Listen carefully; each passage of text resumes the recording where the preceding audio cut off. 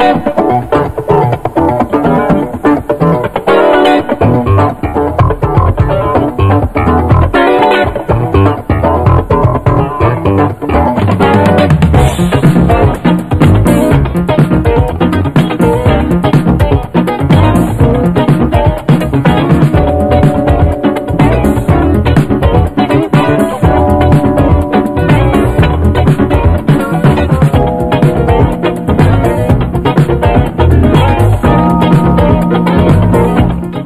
Hi, this is the Junior Christian Science Bible Lesson Show where all are accepted and none are rejected. We're so blessed by the Almighty God that we have two talented evangelists with us. One uh, over here, Michael Tyrone Boyd. You want to, um, you have an affirmation to teach kids to say no to drugs?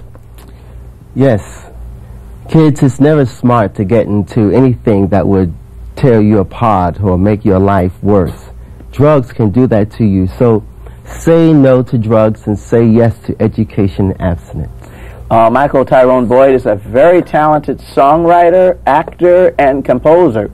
And we also are very blessed to have the very talented um, uh, Dorothy Faulkner uh, with us. Do you have an affirmation to teach kids to say no to drugs?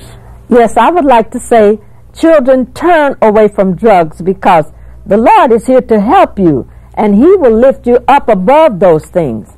And you know, God is good, and uh, it's so much going on. We need to turn to God in these days, and He will help you to overcome drugs. My name is Evangelist Dorothy Faulkner. I minister the life message and immortality and the kingdom of God in this world today. Praise the Lord. Praise the Lord.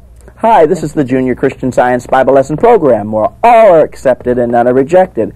Our salvation comes from the one God, that is faith, power, and true wisdom and salvation comes to us by the blood of the Lamb through Christ Jesus that gives us peace.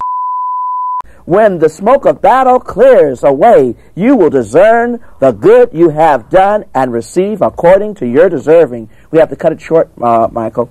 Get to the point in the Bible. The Holy Bible, Isaiah. In that day shall this song be sung.